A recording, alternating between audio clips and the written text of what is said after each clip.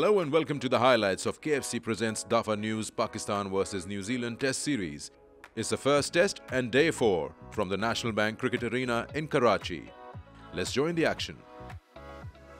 Big day in store for both sides. Pakistan need early wickets. Can they produce them? So both these players have to start again. A little bit of stiffness. Let's get that first one out of the way. It's some width and Sodhi puts it away. Behind square on the offside for four. Williamson, first signs of aggression down the track and he's always in control when he's hitting over the top. Ah! Ah! Aleem Dar thinks that's out. Williamson goes upstairs straight away. Aleem, I recommend you to change your original out decision. Set through the offside, times it well enough. At least three, possibly four. I think that will be four. Slashed, slashed hard and through the fielders for four.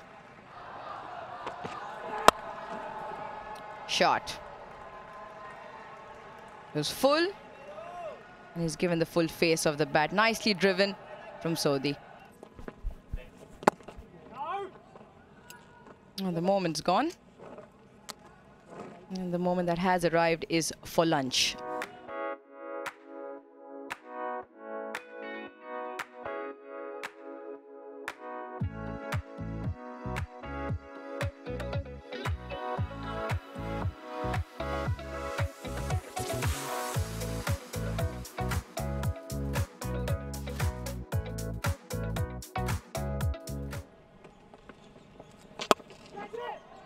Yeah, this time around he's tossed it up and it's too full. It's been hit behind point.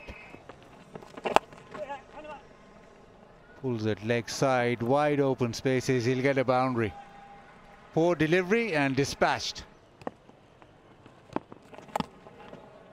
Where does that leave you? Oh, it leaves New Zealand with a fifth, with a four. Also bring up Ish Sodhi's 50. Fourth 50 in Test match cricket, and it's been quite secure today.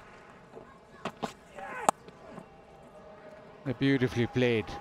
This time around, he just eases it past to third, gets a boundary and gets to 150. Oh, beautifully played. Kane Williamson up another boundary. A little bit of aggression shown. There is the reverse sweep, and I think that'll race away for four. Nicely played. Pulled away nicely. Then he's got hold of it. He's got it in the gap. The short ball. It was as if he was expecting that. In the air, catch it is the call. And there you go. Uh, it's straight up and should be another one.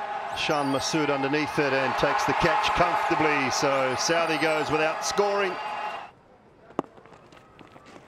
He's tried it again, and that's off the glove, and he's on his way. Another one out to the reverse sweep. Williamson goes straight down the ground.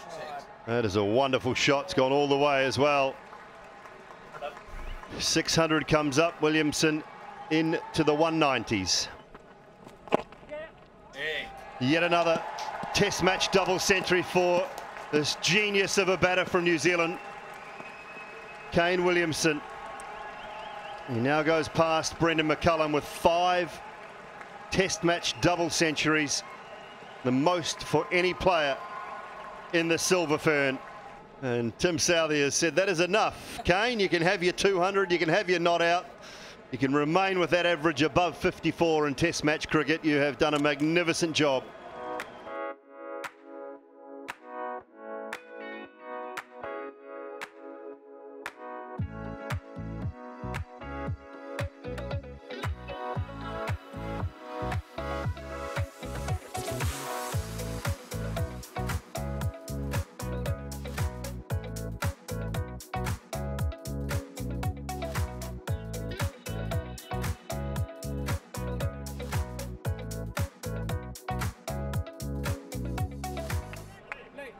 Pakistan trail by 174. Start of their second innings. Nicely bowled. It's the seam. The outside edge found, but straight to ground and to the fence. First boundary of the innings. Falls wide, he's hit it, he's got to it. Ajaz Patel saw him coming, tried to float it, float it even wider, but Imam up to it.